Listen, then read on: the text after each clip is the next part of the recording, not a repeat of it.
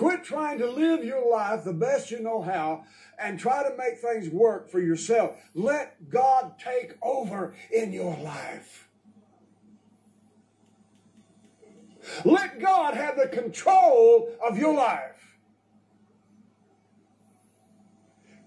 Surrender your life, surrender your heart. Say yes to God. And you will see how that God will work everything out in your life. Amen. Hallelujah. And you will know. Hallelujah. Glory, glory. Hallelujah. That God does it in the way that Amen. He does it. And praise God, you'll understand. Yes, why. hallelujah. Amen. Hallelujah. I just I don't want to see a God that's thundering on Mount Sinai. But I want to hear that still small voice Amen.